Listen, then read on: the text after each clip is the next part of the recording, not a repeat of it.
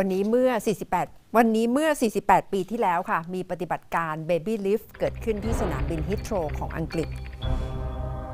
เดวิดอิงลิชบรรณาธิการหนังสือพิมพ์ Daily Mail ได้เห็นปฏิบัติการ Baby Lift อพยพเด็กกว่า 3,000 คนออกจากเวียดนามของสหรัฐ